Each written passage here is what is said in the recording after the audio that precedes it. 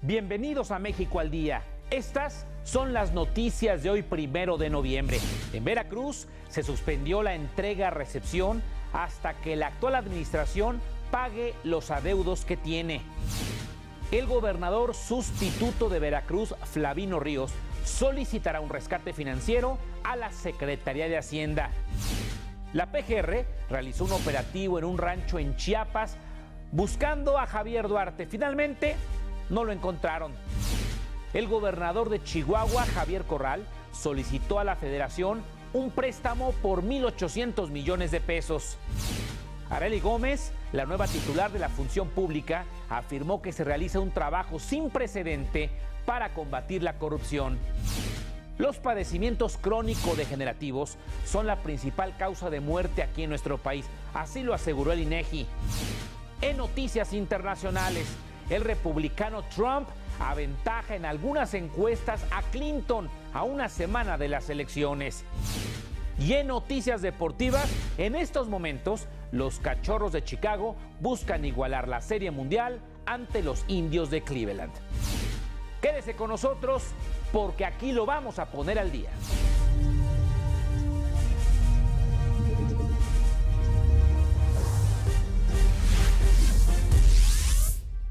¿Qué tal? Muy buenas tardes, noches. Mi nombre es Gustavo Rentería y les saludo con el gusto de siempre. Bienvenidas, bienvenidos al telediario México al Día. Y esta es la información sin adjetivos de este martes, primero de noviembre ya. Ya le decía ayer, faltan únicamente dos meses para que acabe el año de 2016. El gobernador electo de Veracruz, Miguel Ángel Yunes Linares, instruyó al coordinador de su equipo de transición, Manuel Muñoz, que no inicie el proceso de entrega-recepción si la Secretaría de Finanzas del Estado no paga los adeudos a los ayuntamientos, burócratas y sobre todo a la Universidad Veracruzana.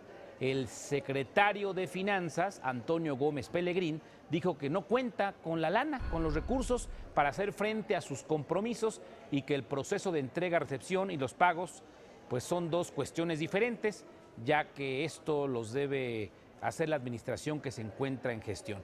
El equipo del gobernador sustituto, Flavino Ríos, dijo que los secretarios estarán en condiciones de recibir el equipo de transición, ojo, eh, hasta el jueves, porque hoy y mañana son días feriados.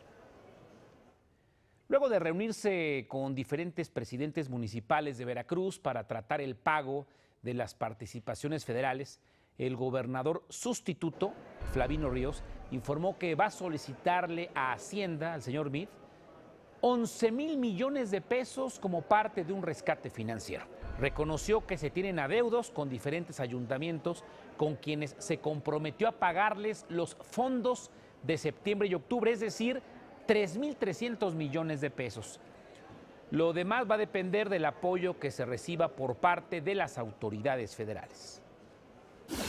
Porque también no podemos hacer gran cosa porque no tenemos los recursos financieros, por lo tanto no me puedo comprometer con ellos, porque si me comprometo y no les cumplo, pues obviamente que me van a reclamar. Y bueno, ya le platicábamos ayer que un grupo de alcaldes, de primeros ediles, han tomado el Palacio de Gobierno en la capital veracruzana y ese plantón pues será indefinido hasta que salgan con sus depósitos, con sus cheques certificados o con comprobantes de sus transferencias. Y claro, ellos pues tienen formados a su vez en los palacios municipales a decenas de acreedores que pues están eh, prácticamente tronando porque no reciben sus pagos. La Suprema Corte de Justicia de la Nación ordenó a la Secretaría de Finanzas y Planeación de Veracruz entregar a la brevedad 24 millones de pesos que adeuda de diferentes fondos federales al municipio de Jico. Esto por la controversia constitucional que interpusieron la mayoría de los municipios para lograr los pagos que superan los 3 mil millones de pesos. Mientras tanto, las autoridades continúan con la búsqueda del gobernador con licencia, el exprista Javier Duarte. Digo exprista porque ya lo corrieron. La noche de ayer surgieron rumores sobre el paradero del exmandatario en el rancho San Francisco, allá en Villaflores, en Chiapas. La PGR ya aclaró que sí realizó eh, un operativo en ese lugar, pero Duarte de Ochoa no se encontraba ahí. Otro estado con problemas financieros es Chihuahua. el gobernador panista Javier Corral explicó que la entidad enfrenta un déficit de 7.200 millones de pesos. Por ello, solicitó un crédito de corto plazo a la federación por 1.800 millones de pesos con garantía de las participaciones del próximo año. Ante este panorama, adelantó que si es necesario, vendrá aquí a la Ciudad de México a negociar con los diputados dinero porque no se pueden dejar de cumplir los compromisos. Sostuvo que solo para cerrar el año, eh, o que solo para cerrar el año, requiere al menos 2 mil millones de pesos y dijo de calidad urgente. La titular de la función pública, Arely Gómez, afirmó que la dependencia a su cargo tiene el enorme reto de recobrar la confianza de los mexicanos. Recobrar la confianza de los mexicanos mediante la implementación del Sistema Nacional Anticorrupción. Dijo que este plan de acción conforma un marco jurídico institucional sin precedente para combatir este flagelo. La mejor manera de lograr su adecuada implementación es trabajando juntos con aliados estratégicos como el INAI y apuntando hacia el mismo objetivo la consolidación de un gobierno abierto y transparente que trabaja de la mano con los ciudadanos. En este contexto, la senadora Marta Tagle aseguró que en este año el dinero empleado para viajes de legisladores al extranjero se disparó, escuche el porcentaje, 325%, 325.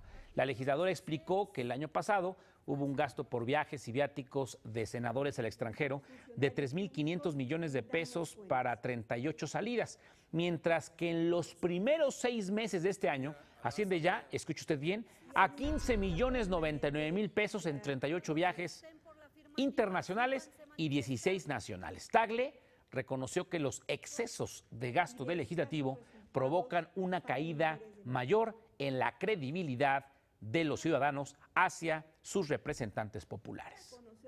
El Tribunal Electoral del Poder Judicial de la Federación analiza si retirará o no los spots del dirigente del PAN, Ricardo Anaya, en donde hace promoción del blanquiazul y otros dicen, pues está ya abiertamente en campaña rumbo a la presidencia. Al panista se le acusa de promoción personalizada, actos anticipados de campaña, sobreexposición de su imagen y transgresión a la normativa interna de su partido. Esta semana termina eh, la gestión de la plantilla del tribunal y retirar dichos spots es uno de los pendientes históricos que tiene. Especialistas consultados por el Banco de México ajustaron a la baja, a la baja las expectativas de crecimiento del PIB para este año y el siguiente. Para 2016 pasó de 2.13 a 2.07%, mientras que para el año siguiente disminuyó de 2.36 a 2.26%. Asimismo, para el cierre de este año, ajustaron el tipo de cambio, el cual pasó de 18.84 a 18.69 pesos por dólar. En cuanto a la inflación, para el cierre de este año, la colocaron en 3.27%. Vanessa Rubio subsecretaria de Hacienda, dijo que México cuenta con seis pilares macroeconómicos que han fortalecido la economía en los últimos cuatro años. Apuntó que hay finanzas gubernamentales balanceadas, derivado de una menor dependencia en los ingresos petroleros. También dijo que hay un incremento en las entradas tributarias, disciplina fiscal, lo que va a permitir alcanzar el objetivo de un superávit primario de 0.4%. La Agencia de Seguridad Nacional de Estados Unidos se infiltró en computadoras de las secretarías, ojo, de Gobernación y Cedesol y también de la UNAM, entre otras instituciones y dependencias, de acuerdo con registros de la propia NSA. Un grupo de hackers, autodenominado de Shadow Brokers, filtró una lista de servidores a los que supuestamente el grupo Equation, ligado a la Agencia de Seguridad Nacional, había comprometido. El representante del PRI ante el INE, Jorge Carlos Ramírez Marín, exhortó a la Cancillería solicitar una explicación al gobierno estadounidense para saber por qué no solicitó la información que le interesaba a través de los conductos diplomáticos normales. Gobernación informó que los servicios electrónicos de la dependencia se encuentran seguros, no están comprometidos y operan de manera ordinaria.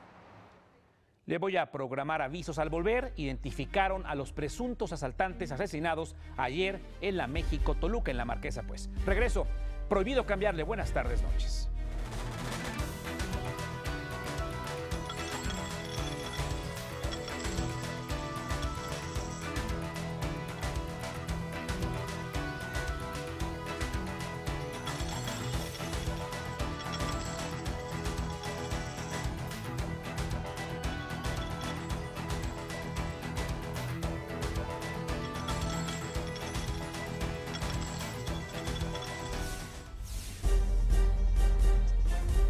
Autoridades confirmaron que los sujetos asesinados y encontrados ayer en la Marquesa eran asaltantes de personas que viajaban en camiones. De acuerdo a denuncias y retratos hablados, los cuatro cuerpos encontrados en la Toluca, México, en la México Toluca, corresponden a ladrones que solían robar a pasajeros, ya le digo, que viajaban por esta ruta, por esta vía.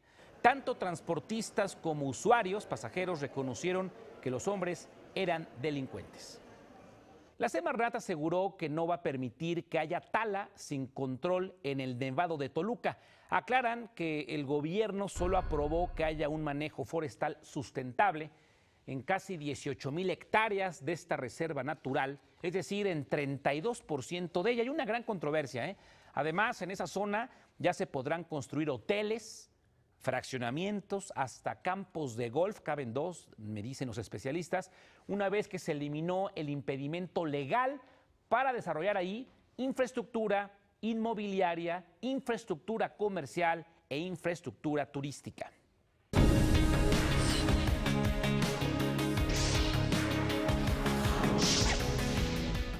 Bueno, me están informando que detuvieron a quien fuera la ex subsecretaria de Finanzas del gobierno de Durango, Leonor Gutiérrez Flores, fue detenido en cumplimiento a una orden de aprehensión girada por un juez de control, informó la administración estatal. Eh, hay un comunicado del gobernador eh, panista, el aliancista José Rosas Aispuru, indicando que la contadora fue capturada en la vía pública internada en el cerezo número uno de Durango por incumplimiento, ejercicio indebido y abandono del servicio público. Eh, había prometido Rosas Aispuru que combatiría la corrupción y hasta el momento no hay ninguna orden de aprehensión ni ninguna acusación, ahí debo de empezar, contra Jorge Herrera Caldera, el ex gobernador. Leticia Carvajal, ¿cómo has estado? Gusto en saludarte, bienvenida, buenas tardes, noches.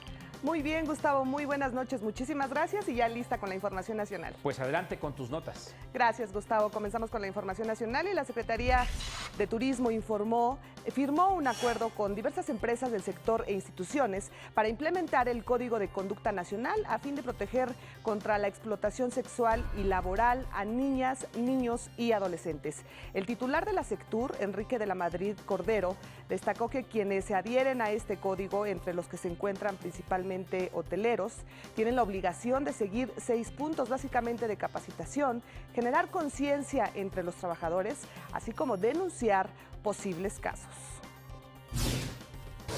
¿Y recuerda usted a la mujer que fue golpeada por un mesero de la taquería La Guelaguetza en Querétaro? Bueno, pues ya se presentó a denunciar penalmente a su agresor, quien todavía no ha sido detenido. Además, la autoridad no sabe qué tipo de sanción podría imponerle debido a que todavía no se conoce la gravedad de las lesiones de la víctima. Lo anterior lo dio a conocer el fiscal general del Estado, Alejandro Echeverría Cornejo, quien por cuestiones legales precisó que no se puede revelar la identidad de la mujer golpeada. Y bueno, en septiembre de este año, las remesas que enviaron nuestros connacionales desde el extranjero registraron un aumento de 15.7% con respecto al mismo mes del año anterior. El Banco de México informó que esto representó la llegada de 2.378 millones de dólares. La Secretaría de Seguridad Pública de aquí, de la Ciudad de México, informó que nueve de cada diez delitos que se cometen en la capital del país está presente el uso de la tecnología. Precisó que el 90% de los casos utiliza un teléfono celular, una computadora, una conversación de WhatsApp o en Internet y detalló que los delitos cibernéticos mayormente, atendidos son la suplantación de identidad, la clonación de páginas de Internet para la venta de vehículos inmobiliarios, así como el acoso sexual. Y mire, el titular de la Fiscalía de Guerrero, Javier Olea, informó que ya se tienen... Yo platicaba en el pasillo de uno de los edificios de la Ciudad de México con unos amigos y me decían, oye, pero si gana Trump, Rentería, ¿Se va a moderar? Bueno, es una pregunta del millón, ¿no? Eh, pero ya que me hagan la simple pregunta es que ya algunos eh, amigos, por cierto empresarios, vean la posibilidad real, ellos no van a votar, pero desde acá ven la posibilidad real de que llegue el señor Trump. Unos dirían, no, hay encuestas que aseguran que va a ganar la señora Clinton, pero la información que tú tienes en la redacción, que hoy nos vas a compartir, es otra, ¿verdad, Jimena? Buenas tardes. Buenas noches, Gustavo. Sí, es, es otra, lamentablemente, si puedo permitirme el comentario. Ayer lo decíamos, la reapertura de la investigación sobre los correos de Hillary Clinton por parte del FBI ha golpeado mucho la campaña demócrata. Hoy sondeos de ABC News y de Washington Post dan un punto de ventaja a Donald Trump con el 46% de preferencia.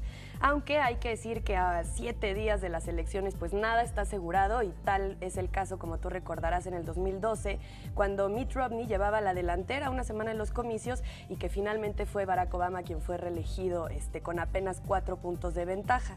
Hay que mencionar también que en esta contienda del 2016, Gustavo, el, el voto anticipado es clave, es muy importante. A partir de hoy, ¿verdad?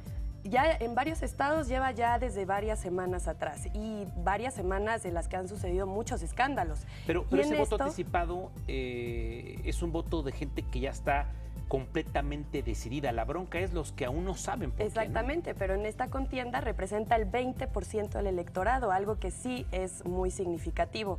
Entonces, en ello, pues Hillary Clinton lleva ventaja, no nada más en estados de tradición demócrata, también en bastiones republicanos eh, como Georgia o Texas, y en este momento pues hay una especie de empate en Florida, clave, porque si Clinton lo gana, eh, se asegura de alguna forma eh, llegar a la Casa es el fiel de la balanza, ¿verdad? Así es. Ahora, hay que decir dos cosas, eh, tú me corriges eh, si estoy equivocado. Los medios de comunicación juegan un papel de vehículos de acceso al poder. Y allá, por ejemplo, Fox News o CBS son eternamente republicanos y hay medios más, más liberales que son abiertamente demócratas, sobre todo los que hablan en español, los que se comunican en idioma español o castellano. Y número dos, las encuestas siempre fallan. Por lo pronto aquí en México siempre nos han dicho lo contrario a lo que pasa en la verdadera encuesta que es el de Es muy interesante, porque fue lo que vimos en Colombia y en Reino Unido. Claro. Entonces es lo que digo, que a una semana pues de las elecciones, Gustavo, nada está asegurado. Lo que sí, déjame comentarte a ti y a la gente que nos mira en casa, es que la tensión electoral tras la reapertura, como comentábamos, de una investigación del FBI sobre los correos de Hillary Clinton, pues causó mucho nerviosismo en los mercados. Y es que no solo el peso mexicano perdió valor frente al dólar, también Wall Street cerró a la baja. Este martes el índice Dow Jones cayó un 0.58%, terminando en 18.034 puntos. Bueno, y hoy en un meeting de Pensilvania, los republicanos Donald Trump y Mike Pence criticaron la reforma sanitaria de Obama. El candidato presidencial aseguró que de llegar a la Casa Blanca exigirá al Congreso su derogación inmediata. When we win on November 8th,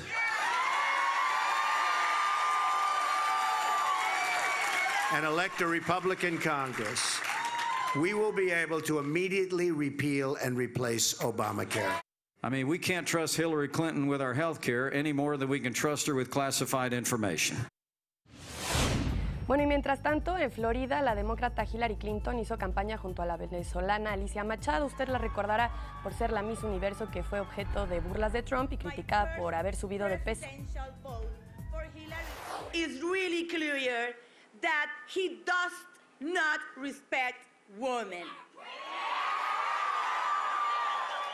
He just, he just judges us on our looks. He thinks he can do whatever he wants and get away with it. He calls women pigs, rates bodies on a scale from 1 to 10. We just heard from Alicia. Why does he do these things? Who acts like this? And I'll tell you who, a bully. Bueno, en más temas internacionales pasamos a Venezuela. Ahí la Asamblea Nacional de Mayoría Opositora pospuso el juicio político contra el presidente. Hoy Nicolás Maduro debía comparecer ante el Congreso, pero el debate fue postergado luego de que el gobierno liberara a cinco opositores que estaban bajo arresto. Es momento ya de pasar a lo mejor del deporte con nuestro compañero Jorge Rubio. Jorge, muy buenas noches.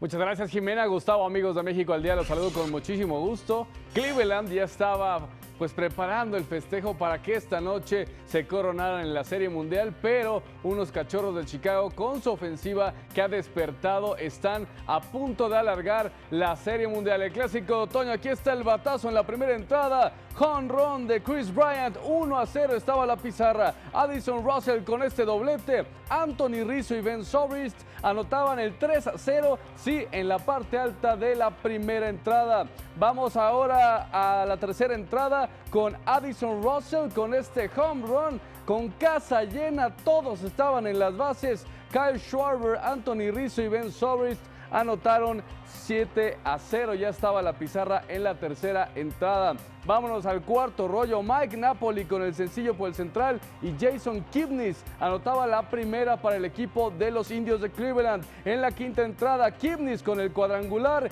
y anota por segunda ocasión en el juego. Estábamos siete carreras a dos. Y hace unos momentos en la parte eh, alta de la novena entrada, nuevamente el equipo de los Cubs hacen la anotación y con esto un home run de Kipnis y se van de Rizzo, perdón, fue este cuadrangular. Nueve carreras a dos. Estamos ya en la parte baja de la novena entrada. 9 a 2. Está ganando el equipo de Chicago Cleveland y estarían forzando. Estamos a tres outs de que nos vayamos al séptimo y último juego de la Serie Mundial. Más adelante, en unos minutos más, les diré cómo finalizó este partido. Y Cruz Azul está pues básicamente eliminado de la liguilla, pero el reporte lo tiene Verónica Dávalos.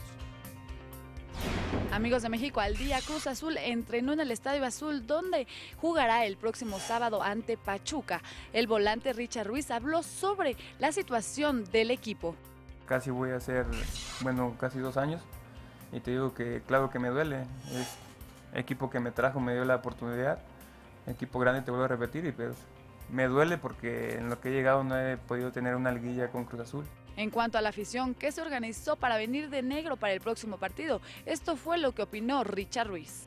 Están en todo su derecho de, de hacer o deshacer, ¿no? Por ahí están, como te comento, están por ahí sentidos dolidos y yo entiendo esa parte. Por otra parte, la máquina va recuperando jugadores como Enzo Rocco, Adrián Aldrete y Omar Mendoza, mientras que Víctor Vázquez ya entrena pero por separado. Por su parte, el argentino Julián Velázquez estará fuera de cuatro a seis semanas. Durante la semana en un entrenamiento se lastimó el, menisco y este, se le hicieron sus, los estudios, se valoró y, eh, y se vio que había una lesión en el menisco lateral de la rodilla derecha. A falta de dos jornadas en el Apertura 2016, Cruz Azul se encuentra en la posición número 15 y en caso de no pasar a liguilla, esta sería su quinta ocasión de forma consecutiva. Para México al Día, Verónica Dávalos. Bueno, y sigue el partido de la Serie Mundial, este sexto juego. Recordar que hoy Jake Carrieta abrió por el equipo de los Cachorros de Chicago. Permitió tres hits, dos carreras en cinco entradas, dos tercios, mientras que Josh Tomlin pues no le fue nada bien en dos entradas y un tercio. Permitió seis hits, seis carreras, nada bien hoy el picheo por parte de los indios de Cleveland. Más adelante el resultado final de este sexto juego de la Serie Mundial. Hacemos una pausa, más adelante más información. Continuamos aquí en México al Día.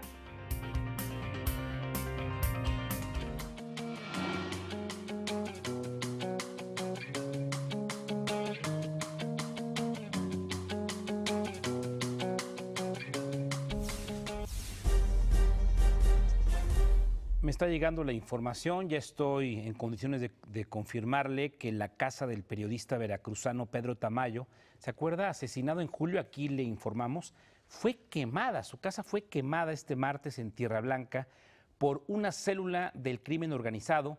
Están confirmando fuentes militares. Tamayo fue blanco del crimen cuando fue atacado afuera de su domicilio, a 10 metros de una patrulla de la Policía Estatal, sin que los elementos hayan intervenido. Eh, esto es el reporte, es la declaración de su viuda, Alicia Blanco, eh, quien había, había sido advertida de este hecho. Queman ahora la casa del periodista que fue asesinado en Veracruz, allá en Tierra Blanca. El presidente de la República conmemoró en Los Pinos el Día de Muertos con voluntarios que participaron en este desfile conmemorativo de esta celebración de 2016 del Día de Muertos, aquí el fin de semana, ¿se acuerda? Recordó que la propuesta de su gobierno eh, es proyectar lo mejor de nuestro país. Nos propusimos proyectar lo mejor de México, sus tradiciones, sus valores, hacer una gran promoción de México entre los propios mexicanos y a nivel internacional. Informó el presidente que este impulso ha logrado que México siga avanzando como uno de los 10 destinos turísticos más visitados del planeta. Pasamos en el 2012 de estar ubicados en el lugar número 15 en el mundo como el destino más visitado a ser ya el año pasado el destino número 9. Estamos en el top 10, en los primeros 10 lugares de países más visitados en el mundo. De esto platicamos el viernes pasado con el secretario de Turismo Enrique de la Madrid. Bueno, junto con su esposa Angélica Rivera de Peña, el presidente degustó pan de muerto y visitó la ofrenda montada por el Estado Mayor Presidencial. Y uno de los lugares más concurridos en estos días, claro, son los Camposantos. Los cementerios en Día de Muertos cobran mucho más vida y es que en esta época los inciensos, las veladoras, la comida y las flores son el común denominador de una tradición milenaria para recordar a nuestros santos difuntos.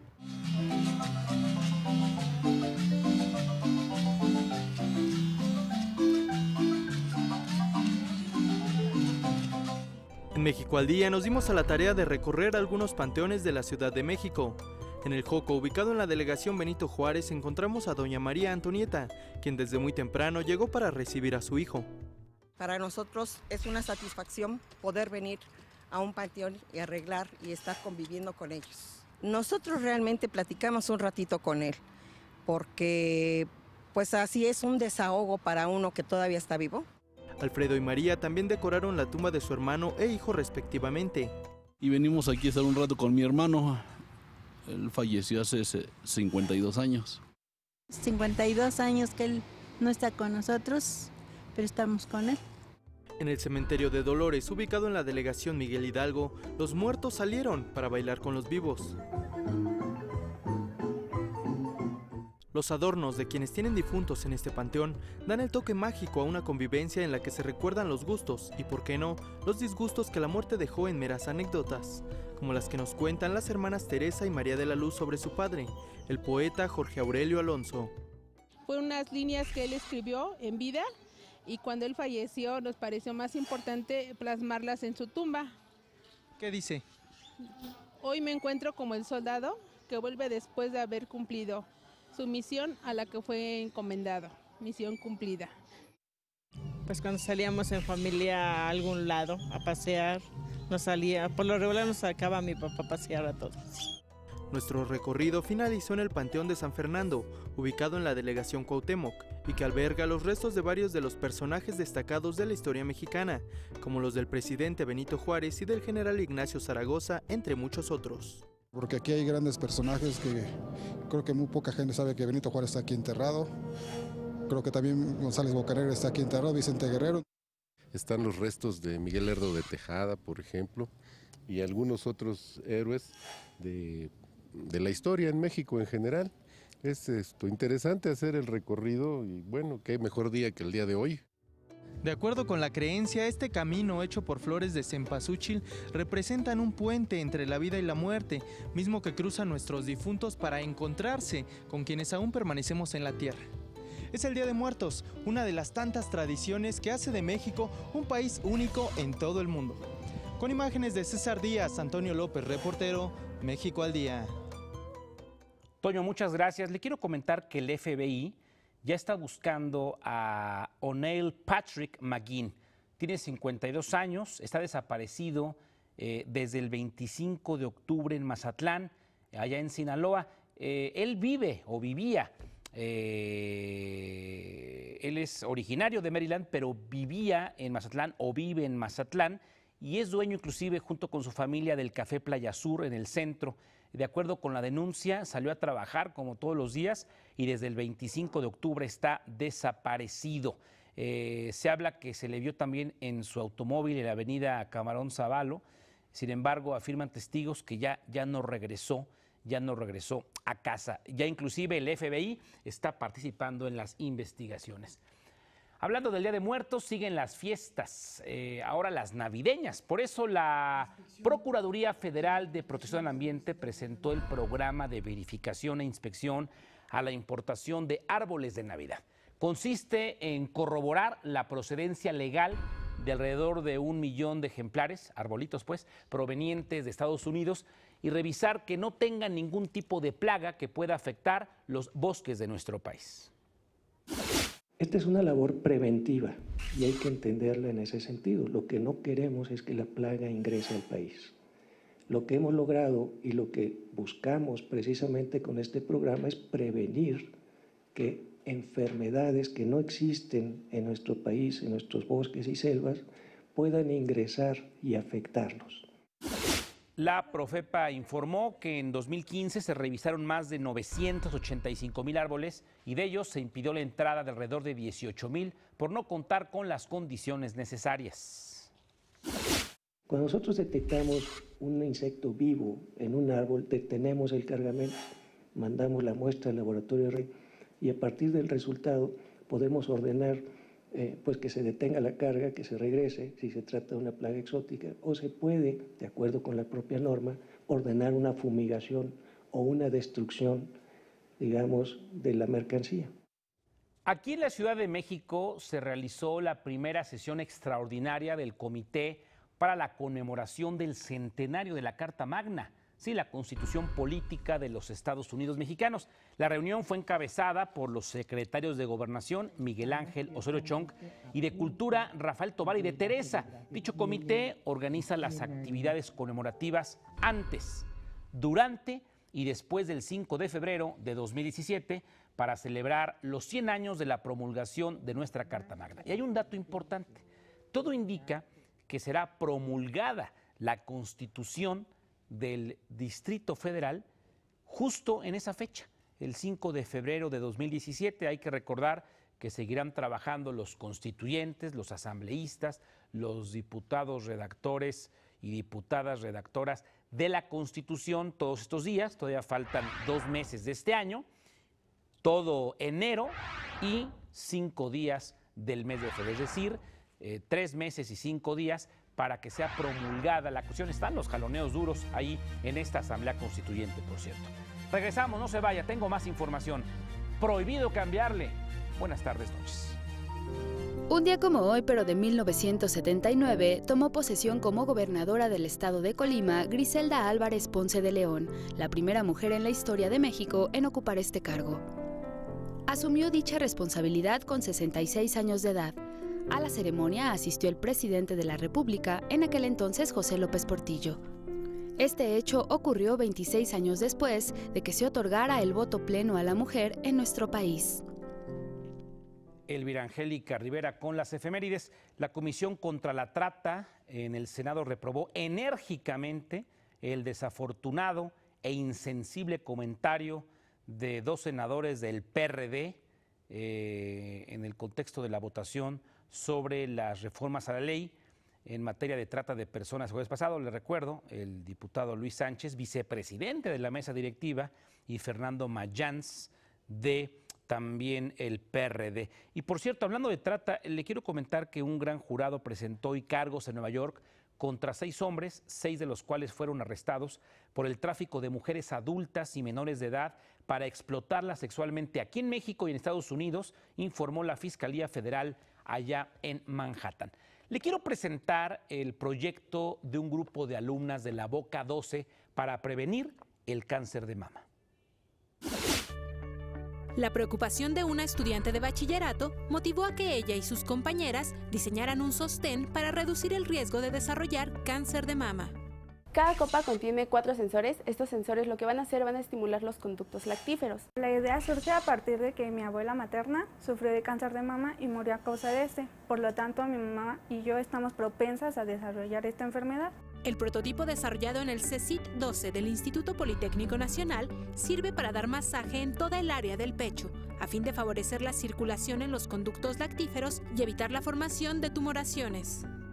Como son varios eh, conductos, varios tubitos que van conectados al, pezón, este, cada tubito avienta un, como digamos, un grumo y estos a su vez van haciendo un conjunto, a lo que hacen que ya, ya no tengan cómo salir. Al momento de estimular va a hacer que se deshagan esos pequeños grumos y el cuerpo los va a desechar vía natural. El dispositivo registrado como Save Me Bra cuenta con cuatro sensores en cada copa y se controla desde una computadora, donde se programan las sesiones por tiempo determinado o número de pulsaciones, de acuerdo a la recomendación del especialista. El dispositivo está controlado por una interfaz, es un software, es demasiado sencillo de utilizar y su manejo puede darse a través de un teclado, de un mouse o vía táctil.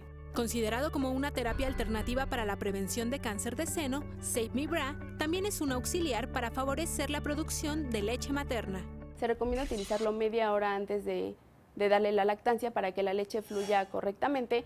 El proyecto que se encuentra en proceso de patente actualmente está en busca de financiamiento para facilitar su comercialización.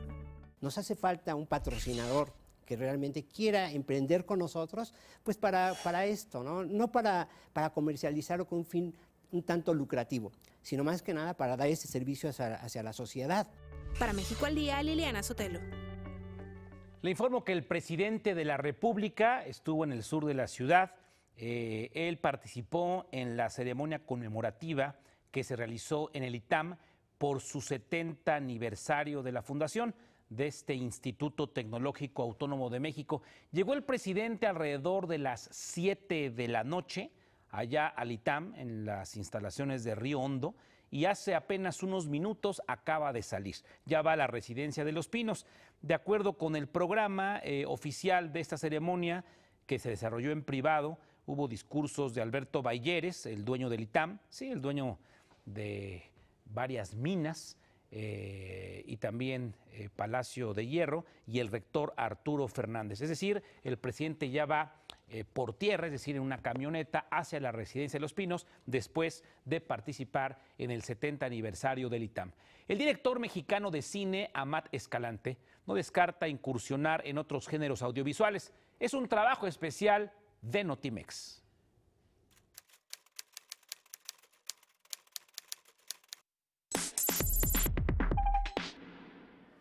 Consciente de la transición que vive el cine, Amat Escalante, reconocido como el mejor director en el Festival de Venecia por su película La región salvaje, aseguró que está abierto a la posibilidad de generar contenidos en formato de serie, pues sabe que está cambiando la forma de consumir cine y entretenimiento. Pues tenemos también que, ir cuidando eso y, acomodarnos a eso como cineastas, ¿no? Eh, me interesa estos formatos de ocho horas que se puede hacer ahora con una serie, por ejemplo, puede estar interesante probar algo así también, ¿no? Eh, y alejarse de la hora y media que hay en una película. Tras señalar que con seguridad el futuro del audiovisual sorprenderá tanto a realizadores como a espectadores, dijo que aunque no le parece que la forma ideal de ver cine sea en laptop, computadora o celular, sabe que debe estar abierto a los cambios. Sí, yo no estoy ahorita trabajando en nada parte de cine, o sea, de televisión o series y eso, pues no, pero eso es lo que me refería que pues tengo que estar ahí abierto porque no me voy a quedar atrás en ese sentido, ¿no? Y creo que que contarle que haya libertad y pueda uno expresar las cosas que quiere en cualquier medio que se pueda, pues eh, estoy abierto a eso, ¿no? Y, al final de cuentas es casi lo mismo, o sea, ya eh, hasta se podría hacer algún estreno en cine y luego televisión, no sé. Eh, pues bueno, está siendo muy flexible ahorita la situación para llegar a contar historias, yo creo. La región salvaje, que llegará a salas comerciales en 2017, hace una metáfora de la homofobia, la opresión hacia las mujeres y el machismo teniendo como hilo conductor la sexualidad y utilizando el cine de género. Con información de Maricruz González e imágenes de Enrique Romero. Enviados. Notimex. Un saludo a la redacción de Notimex, a todos los compañeros. La Procuraduría General de la República cumplimentó una orden de aprehensión girada por el juzgado décimo de distrito de Sonora contra el líder sindical de Pemex, Leonardo Montalvo Cabrera, investigado por el delito de fraude equiparado. La PGR acaba de detener a un líder sindical de petróleos mexicanos. Esto fue en Guaymas, en Sonora. Sin Rodríguez y el mundo de la cultura. Les quiero recordar que es una producción de nuestro canal hermano, el Canal 22. ¿Qué tal, Gustavo? Vamos a compartirles la información cultural que tenemos para todos ustedes. Primero vamos a invitarlos a conocer la magna ofrenda de la artista plástica Betsabe Romero que ha instalado en la Plaza de la Constitución, un canto al agua y a la memoria. Con una gran afluencia a la plancha del Zócalo capitalino, fue inaugurada la tarde de este sábado la tradicional mega ofrenda de Día de Muertos, que en este año tuvo por título Canto al agua y por autora a la artista plástica Betsabe Romero. Si son cinco círculos concéntricos y son 113 trajineras, la, la, cantidad no es cabalística, es el número lo, dieron los de seguridad porque tiene que haber, eh, va a haber una afluencia importante y entonces entre, tenía que haber avenidas entre cada una y este y, y bueno eh, lo que la disposición pues sí es circular un poco laberíntica y en cada trajinera hay un título que son la gente importante, valiosa que ha muerto este año y que todos conocemos, desde el arquitecto Teodoro González de León, Juan Gabriel, este, Eduardo Galeano, eh, Bajda. Hasta aquí la información, Gustavo. Nos vemos en la próxima ocasión.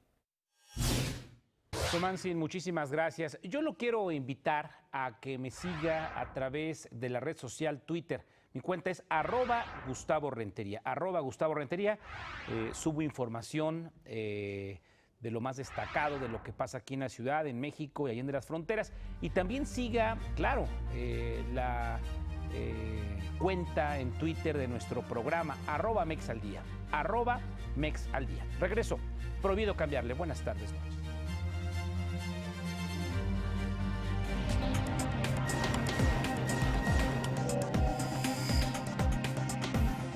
Segunda oportunidad, segunda vuelta, segundo round, segundo tiempo, segunda entrada. Bueno, ya está acabando el partido, ya acabó. Platícanos, cronista, adelante, buenas tardes. Muchas gracias, Gustavo. Así es, ya acabó el partido, el sexto de la Serie Mundial. Y sí, se empató a tres, gana el equipo de los Cachorros de Chicago, nueve carreras a tres a los Indios de Cleveland. Y mañana a las seis en punto de la tarde, tiempo del Centro de México, será el séptimo y último, el definitivo, para definir ya al campeón del Clásico de Otoño de la Serie Mundial. Así que mañana, por supuesto, les tendremos todos los detalles, esperando también que termine antes de las 10 de la noche este partido para decirles quién es el nuevo monarca del béisbol de las grandes ligas. Pero vamos a ver qué pasa con la Champions, cuarta fecha de la fase de grupos. Partidos importantes este día. El Barcelona con gol de Lionel Messi iba ganando 1 por 0, pero venía el empate por parte de Gundogan al minuto 39. Golazo por parte de Kevin De Bruyne, el 2 a 1 y el 3 a 1 de Gundogan al 74. Así gana el equipo del Manchester City al Barcelona. PSV en contra de Bayern Múnich. Santiago Arias al 14. Después de penal, Lewandowski hacía el empate para los alemanes. Y otra vez Robert Lewandowski al 73. 2 a 1 gana el Bayern al PSV. Guardado y Moreno jugaron todo el partido, pero el PSV quedó eliminado. Benfica contra el Kiev al minuto 45 y 2 de tiempo de reposición. Eduardo Salvio le da la victoria al Benfica. Raúl Jiménez entró al minuto 70. Los portugueses son líderes del grupo B con 7 puntos. Atlético de Madrid contra el Rostov. Antoine Griezmann en una ocasión el empate de Asmun y después otra vez Griezmann ya en tiempo de reposición gana el Atlético de Madrid 2 por 1 al cuadro ruso del Rostov. Así queda el marcador 2 por 1. Vamos a revisar más resultados de esta Champions League. El Besiktas empata 1 con Napoli. Borussia Mönchengladbach también iguala con el Celtic por un gol. Basilea pierde con el Paris Saint-Germain 2 a 1. El Ludo Goretz 2-3 con el equipo del Arsenal. Mañana 1.45 de la tarde. Mónaco contra el Chesca de Moscú. Borussia Dortmund contra Sporting Lisboa. Copenhague contra Leicester. Porto contra el Brujas. Juventus contra León. Y el Legia en contra del Real Madrid. Así como Sevilla contra el Dinamo Zagreb. Y el Tottenham contra el Bayer Leverkusen y Chicharito Hernández. Y hablando de alemanes, eh, como el, equipo del Bayer Leverkusen juega el Charito Hernández, pues hay que hablar de uno de los mejores futbolistas de Alemania, aunque nació en Polonia, es el máximo anotador en la historia de los mundiales. Hablamos de Miroslav Klose, que logró un total de 16 goles en cuatro Copas del Mundo. Anunció hoy su retiro del fútbol profesional a los 38 años de edad para formar parte del cuerpo técnico de la Mannschaft, que dirigida por Joachim Low. Klose vistió las camisetas del Kaiserslautern, Werder Bremen, Bayern Múnich y la Lazio de Italia. El bombardero alemán, campeón del mundo en Brasil 2014, subcampeón en Japón, Corea 2002, Corea-Japón 2002, 71 goles en 137 partidos nada más, dos títulos de la Bundesliga con el Bayern Múnich. Y mañana la gran final, solo hay un juego, no hay ida y vuelta. El equipo de las Chivas se mete al estadio de la Corregidora para enfrentar al Querétaro en la final de la Copa MX. En caso de que el rebaño gane, escuchen ustedes amigos americanistas, llegaría a 37 títulos ganados en todo tipo de torneos e igualaría al equipo de Cuapa y sería el cuarta, la cuarta copa para las Chivas de Copa MX, así que imagínense en el centenario y los igualan en títulos totales ganados las Chivas al América, no sería nada bueno para los de Cuapa. Nos, merecíamos esto, creo que el equipo lo veo comprometido, estamos comprometidos de que, de que es una final y tenemos que jugarla como tal, que hemos venido dejando equipos eh, grandes de la historia del fútbol mexicano fuera y que nos toca las Chivas, que también es, es de los más importantes y nos toca cerrarlo bien. Por último, les comento que Ray Allen, el basquetbolista de la NBA, tras 18 años de carrera, dijo adiós al básquetbol profesional. Así que la información deportiva, que tengan excelente noche. Gustavo, regreso contigo. Cronista, excelente noche. Eh, le quiero comentar que City Banamex está pronosticando que subirá la gasolina 10% en el 2017. Mal augurio. Esta noche Miguel Ángel López Farías nos hace un análisis sobre los jóvenes y la delincuencia. Adelante.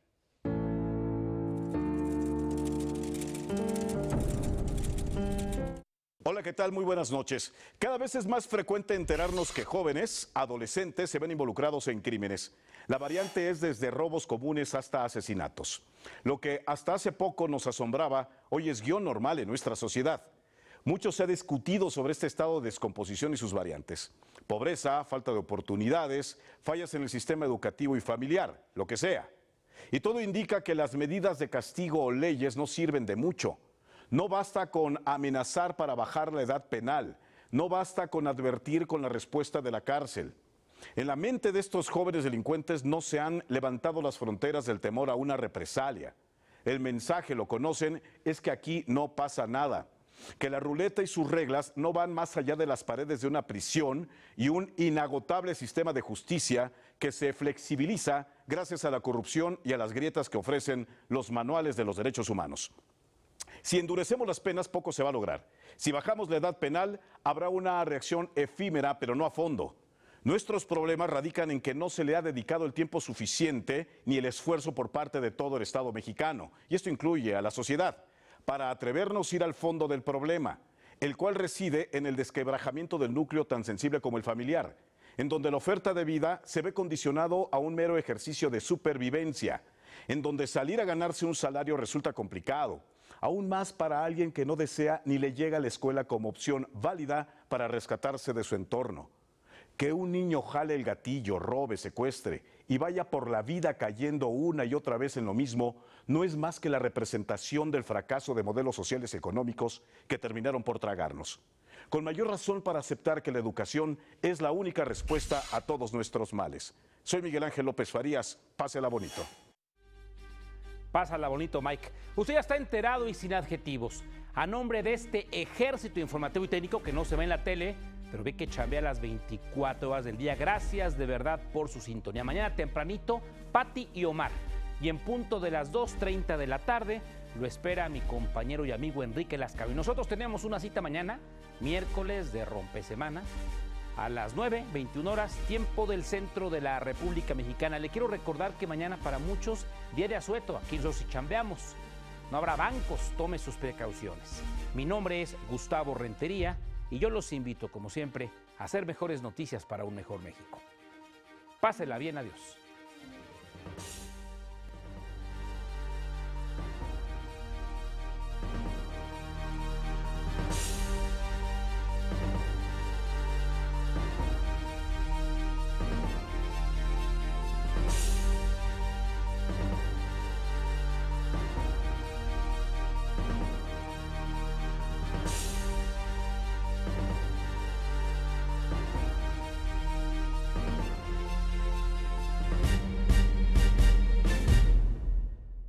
Esto es México al Día.